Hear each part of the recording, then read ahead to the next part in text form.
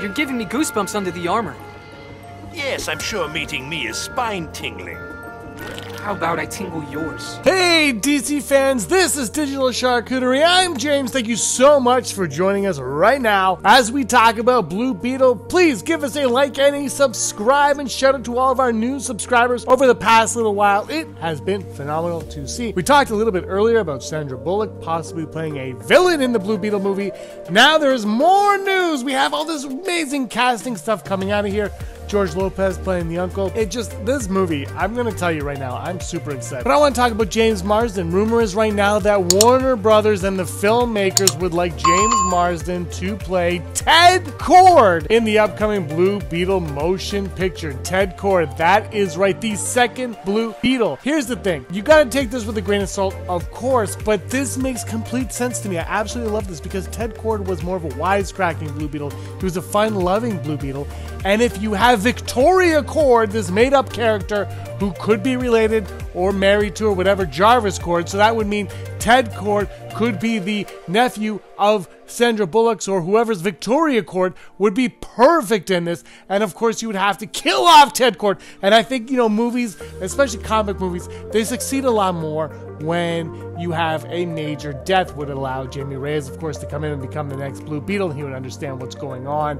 Or you can even have a passing of the torch type thing right there. But this sounds absolutely great. James Marsden seems like a perfect choice for this. He's not a young buck anymore like he was when he portrayed Cyclops 20 years ago. He's of that age now when the passing of the torch would make sense. And he's still wisecracking. He crushes it in the Sonic movies. Sonic 1, Sonic, he absolutely crushes it in even those. And everybody likes James Marsden. He just shows up and everybody likes him. And it makes perfect sense. Put him in this. And if you don't kill him off, he can succeed in the way that Michael Douglas succeeds in the Ant Man franchise. Sure, he's not as old as Michael Douglas, but still, you have that. You can even have two Blue Beetles going around. Obviously, look, Booster Gold is showing up. We know that that cast is going to happen.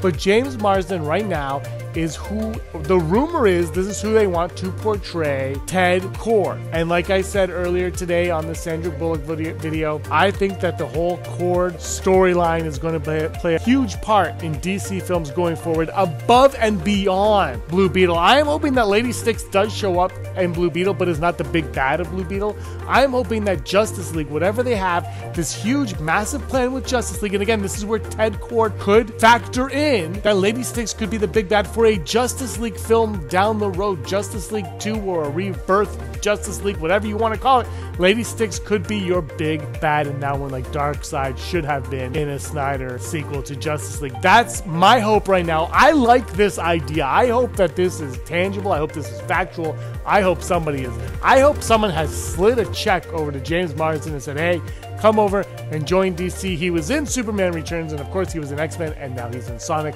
crushing it as always. What do you guys think? Can you see James Marsden portraying Kord in the DC universe? Or are you like, this is just a hoax, this is a rumor?